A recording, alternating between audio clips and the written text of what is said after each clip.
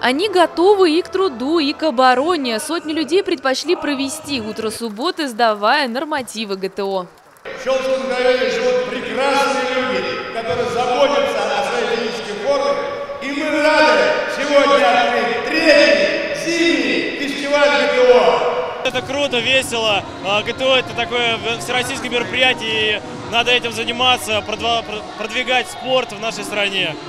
Традиционно универсальный спорткомплекс Подмосковья принимает желающих сдать нормы ГТО. К слову, в минувшем году Щелковский центр тестирования стал лучшим в стране. Раз от раза желающих проверить свои возможности меньше не становится. Здоровый образ жизни с каждым годом все больше входит в жизнь людей. Причем всех возрастов. Вове всего 10 лет, а он уже готов дать фору ребятам более старшего возраста. Он смог подтянуться 15 раз.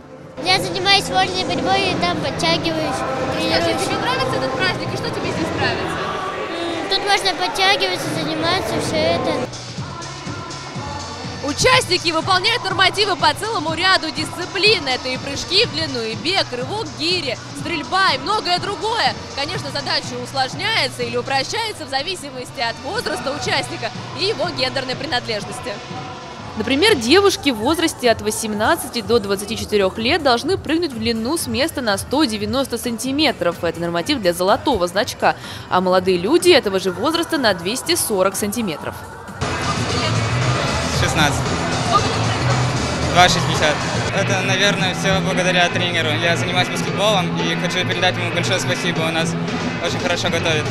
Всего же более 650 человек пришли сдать нормативы ГТО в этот день. Для многих это стало больше, чем просто спортивным праздником. Проверить свои возможности решили 65 семей. Они пришли в полном составе. Выполняли упражнения и целыми коллективами. Ну а тем, кто только собирается присоединиться ко всероссийскому движению, сообщаем. Всю подробную информацию можно узнать на официальной странице Щелковского центра тестирования ГТО ВКонтакте. Дарья Снегова, Валерий Жиглей, телерадиокомпания «Щелково».